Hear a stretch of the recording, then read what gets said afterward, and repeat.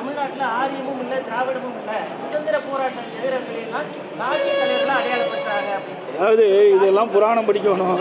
நான் அந்த அளவுக்கு படித்தவன் இல்லை. ஏன்னா இந்த கதையெல்லாம் படித்து சொல்லணும்ல. இதெல்லாம் பெரிய ஒரு ஆய்வு பண்ணணும் இந்த ஆய்வில் பண்ணால் தான் இது உண்மையாக பொய்யான்னு தெரியும். நான் அதுக்கு நான் உட்பட்டவன் சொல்றாங்க. ஆமாம் அதுக்கு என்ன பண்ணுறது அவரை தான் கேட்கணும். அவர் கேட்குற கேள்வி என்னை கேட்டால் எனக்கு என்ன தெரியும்? அது ஆரியமா நிதான அது அறிஞர்கள் பார்த்து கேட்டால் தான் அது சரியாக தப்பான்னு தெரியும். ஏன்னா இது உண்மையாக பொய்யா என்பதற்கு இது ஆய்வு செஞ்சால் தான் தெரியும். ஏன்னா ஆய்வு செய்யாமல் நீங்கள் கேட்குற கேள்விக்கு தவறான பதில் நான் கொடுத்துடக்கூடாது. தாங்க நான் சொல்கிறேன் தாங்க நான் சொல்கிறேனே இதையெல்லாம் ஆய்வு செய்யப்பட வேண்டும். இந்த கேள்விக்கு இடம் தேவையில்லை. இது தேவையில்லாத கேள்வி. யாரை கேட்கணுமோ அவங்கள கேளுங்க. அப்பொழுது தான் உண்டான பதில் உங்களுக்கு கிடைக்கும்.